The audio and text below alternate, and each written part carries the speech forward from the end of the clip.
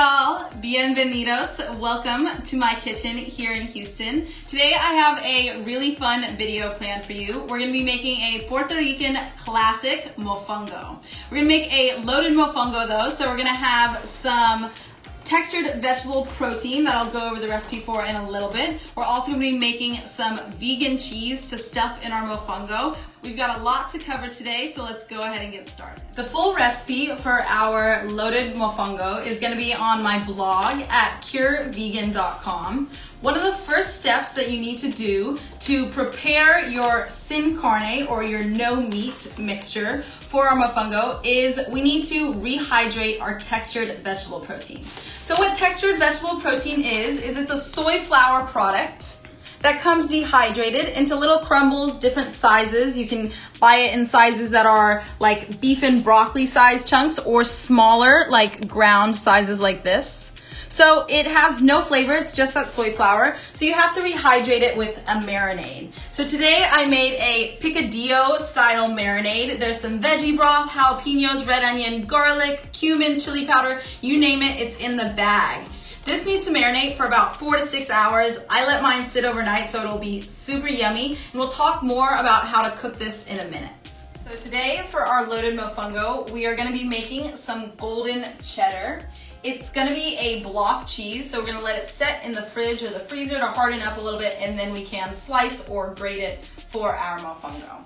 So to make this, it's a little bit sciencey. You're gonna need to buy some ingredients probably off of Amazon. The two ingredients specifically that I'm talking about that you need that aren't at every grocery store are tapioca starch or flour and then kappa carrageenan. These are both gonna be emulsifiers, thickening agents that kind of set our cheese up and make it firm into a block. So to our blender here, I'm gonna go ahead and add some fresh almond milk that I made. It's really important with homemade vegan cheeses that you use fresh almond or soy milk because store-bought almond and soy milk, they have a lot of emulsifiers, preservatives in them. That's gonna cause your cheese sauce to break, okay? So this is literally just almond flour, water, and a little bit of salt blended together. That's gonna go into my blender. The next thing I'm gonna add in is gonna be some of my flavoring agents for the cheese. So I have some miso paste here. I have tomato paste, nooch, onion powder, salt, and mustard seeds. And nooch, I realized I said that without kind of explaining what it is. This is nutritional yeast, okay? Much different from brewer's yeast, so no, they're not the same thing. Nutritional yeast has a really cheesy flavor. So all these spices, flavoring agents, they're gonna go in. Next, into the blender, I'm gonna throw in my tapioca starch and my kappa carrageenan. The only two other ingredients I have to add to my cheese sauce are gonna be apple cider vinegar and coconut oil. The coconut oil we'll add in when we begin cooking it, and the apple cider vinegar will be the last thing we add in because it's an acid, so it can curdle our milk and cause it to lump up if we add it too soon. All my flavoring agents in my milk, as well as my emulsifiers are in the blender. Let's go ahead and turn it on until it all blends together.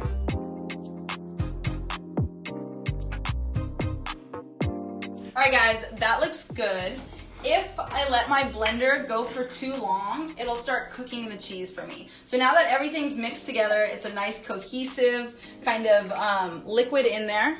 Let's go ahead and add it to our saucepan.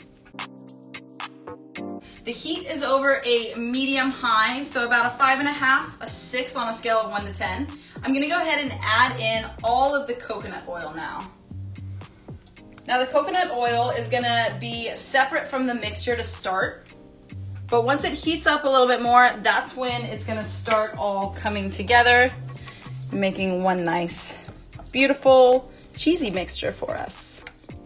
And you'll notice that once you keep stirring and it starts to heat up, that that coconut oil is gonna start to uh, kind of emulsify with the other ingredients or come together with the other ingredients. Now we're gonna stir here until our cheese sauce actually starts to get like cheesy on us. It's gonna start to clump a little bit, then you're gonna start to stir really quickly, pulling it off of the heat if it starts to clump too much.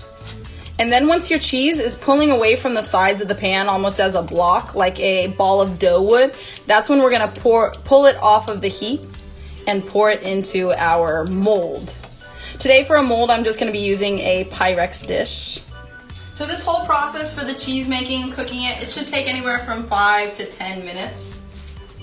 It's not too long, but it's definitely not too quick. And if you don't cook it long enough, you'll have raw starch particles from that tapioca in there. You'll be able to taste them even after the cheese heats and cools. So you wanna make sure that you cook it enough to kind of dissipate that tapioca starch into the liquids of the mixture.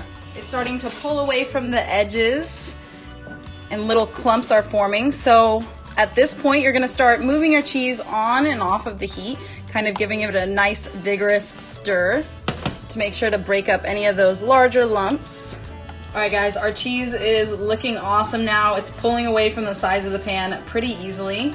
Now we're gonna go ahead and take it off the heat and we're gonna add in our apple cider vinegar. As soon as we add this in, we need to stir pretty quickly. Apple cider vinegar goes in and we stir, stir, stir.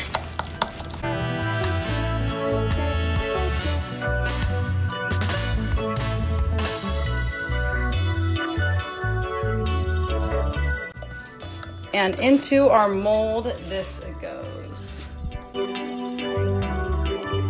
You'll notice our cheese is already kind of starting to set, getting much thicker in here. I'm gonna go ahead and stick this in the fridge and that will allow it to actually get harder and set into that block that we can cut or then shred for our loaded mofongo. So our sin carne mixture has been marinating for overnight, so about 8 to 12 hours. Textured vegetable protein, some veggie broth, cilantro, cumin, coriander, chili powder, orange zest, juice and rinds, lime juice and rinds, jalapenos. There's all sorts of yumminess going on in here.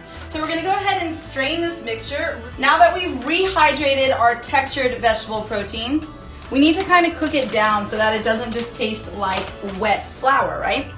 So I have my nonstick skillet. I'm gonna go ahead and add just about two tablespoons of oil and let that heat up. Pan is nice and hot. I've heated it over a medium-high heat. I'm on a 7 out of 10. Now I'm to go ahead and add in some of this textured vegetable protein mixture and get to cooking it. In there with the jalapenos, the onions, the cilantro, all of it's going in. We're just to let this cook down, stirring it every minute or so. So one ingredient you can't miss out on when you're making mofongo is green plantains. These are really high in starch and fiber, so they can't be eaten raw like their look-alike cousin, the banana, okay? So to start with our plantains for mofongo, we're gonna go ahead and cut them into one inch pieces like this. To cut your plantain, we're gonna go ahead and cut off the ends first. Then we're gonna make some slits in the skin. Once you have those slits, go ahead and work your fingers underneath the skin of the plantain. And then you can start peeling off that skin. Once you have that skin peeled off, go ahead and cut your plantain into about one inch pieces. And then set them aside for frying here in just a little bit. Our sin carne mixture is starting to develop some really nice brown color. And of course, if too much is sticking to the pan, go ahead and add a little bit more of that grapeseed oil. Stirring every 45 seconds to a minute still, we want to develop that really nice crunchy color and uh, crunchy texture. So today we're frying in my cast iron skillet using grapeseed oil. How do you know when your oil is ready to fry with if you don't have a thermometer? You can take a wooden spatula or spoon and stick the handle into it.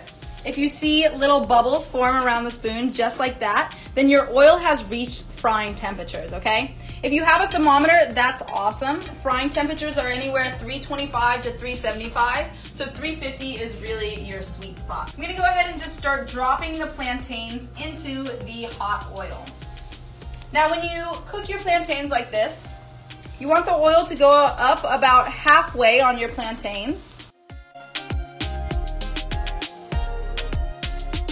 So I'm happy with the way my plantains have turned out. I'm not gonna drain them because I need some of this oil for when I start mashing my plantains. In front of me, I have what's known as a mortar and pestle or a molcajete. So we're gonna mash our plantains with some fresh garlic, some sea salt, and then typically in this recipe for mofongo, there would be chicharrones for a nice crispy flavor. Of course, since I'm vegan, we don't eat chicharrones in my house, so I went ahead and got some quinoa and kale Cheeto puffs. They have a really nice crispy, airy bite to them, just like a chicharron would. So that's the texture we're gonna go with today.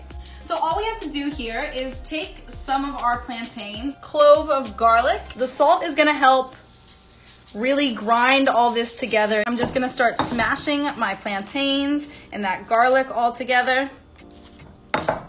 I'm adding in some of my last plantains and mashing here. So now I'm gonna start adding in some of those quinoa and kale Cheeto-like puffs.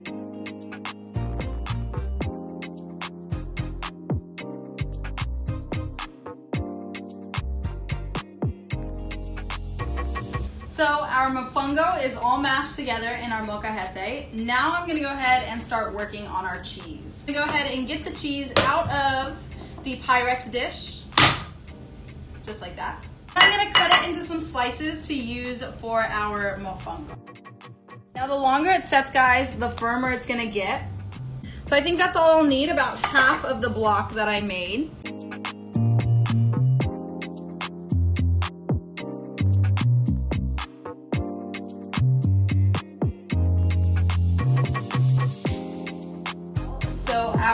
Loaded mofongo is ready. I just pulled it out of the oven. I'm gonna go ahead and start by packing a large cereal bowl full of my mofongo mixture. And now what I'm gonna do is I'm gonna take this bowl, I place a larger bowl on top of my bowl of mofongo. I'm gonna flip it over, I'm gonna give it a little love tap.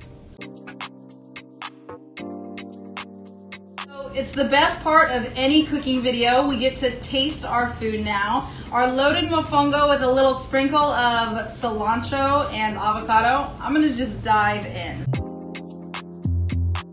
You guys, this is gonna be a recipe that you go to and make over and over again.